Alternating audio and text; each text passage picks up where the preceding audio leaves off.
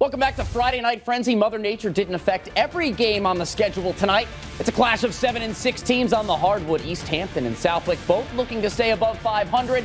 Josh Drum for the Rams drives and one. One more time, he puts it on his left, finishes through contact, giving the Rams a boost early on. Nice pass the other way from Matt Basis to Trevor Cannon Smith. Basis this time with the steal. He's going to take it the other way. Got daylight in front of him. Can't get the layup to fall, but Jake Redmond says, I got you. That one good. Some excited future Eagles and Rams getting loud in the house tonight, providing the juice. Basis in the paint, floater, bucket, count it, and then basis to Cannon Smith. Top of the key, splash. Jake Redmond with a spin in the lane, nifty move, got it to go, but Josh Drum too much to handle, taking over on D. Gets the loose ball. He's going to take that the remainder of the way, looking around him. Got it with the left hand. One more time. Then he picks one. No one's going to catch him. Rolls it home. But basis one more time.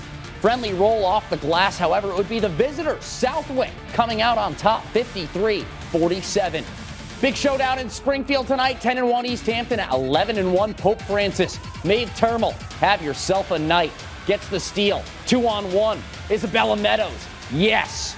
Now it's Meadows' turn to jar it loose. And Termal, who takes it all the way. Pope Francis on the break early and often. She's hyped. Time for Ava Albano to get in on the action. Meadows, once again, this time on defense, finds a cutting Termal off the bounce pass. Cardinals all fired up early on. Watch this move coming up through three defenders. Number 23 rises, scoops it up and in, looking like Jordan on 2 3 23. Nonetheless, for the Eagles, Sophia Faginski, Lauren Morse off balance. Got that one. But Pope proved to be too much. Meadows on the crossover goes left. Give it to me. Cards win by three, 47 44. They're 12 and 1. Back in action on Monday. The Chicopee girls facing off against East Longmeadow last night. Picked this one up in the fourth quarter. Pacers up big. Ella Florence to Jalen Garvin Martin. Up for Lauren Cross. Mid range, good. Cross now to Alana Smith for Blaze Mack in the paint. No good from downtown on this one, but Smith is there for the board and the bucket. Cross court pass from Mack to Sophia Guzman. Yes, Spartans now. Lorraine Lotier gets it to Victoria Carano in traffic. Friendly roll off the rim. Blaze Mack now with the steal. Nice vision up to Gianna Garcia. She says, I'll do the rest. Alana Smith finishes with 22. Chicopee wins 64 to 30.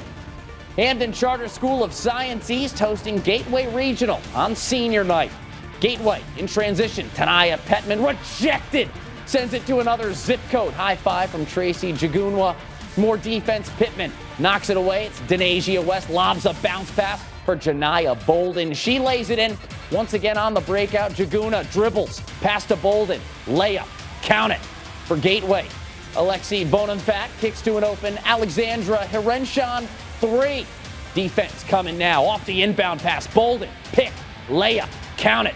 Kadeja Hicks, the sophomore, fights through two defenders and the referees for our Western Mass News cameras.